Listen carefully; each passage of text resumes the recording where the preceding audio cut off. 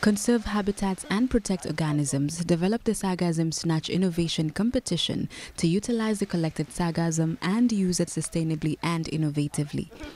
With 15 submissions, three prototypes advanced to the finals. CHaPO representative Sarita Mahabir explained the threat posed by sargassum.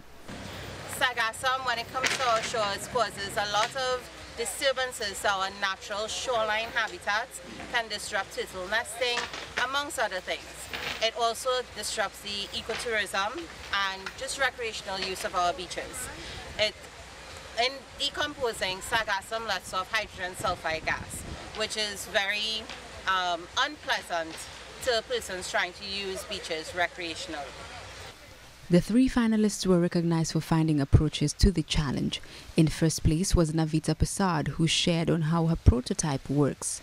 Okay, so the idea of my prototype is was to use barrels, and it was given a suggestion to me, like one of the suggestions that I got, and I find the barrels was the best because it would have collected more than the other options. In second place, Jaden Forde shared on the genesis of his idea, which was born from observing pool cleaners.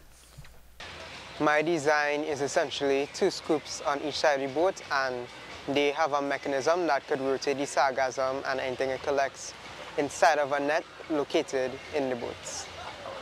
In third place, Carissa Floyd aimed to create a prototype that used less energy and resources, unlike the ones already in use that cost much to operate my prototype consists of two nets that um, are situated on either side of the vessel and it's meant to collect the sargassum floating in the ocean with as minimal effort as possible.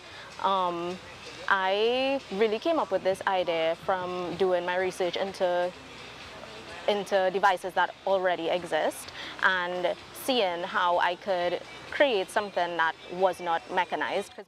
The event on Sunday not only featured the competition, projects that could transform sargassum from an environmental burden into an economic opportunity were also explored. Faith Chariot, TTT News.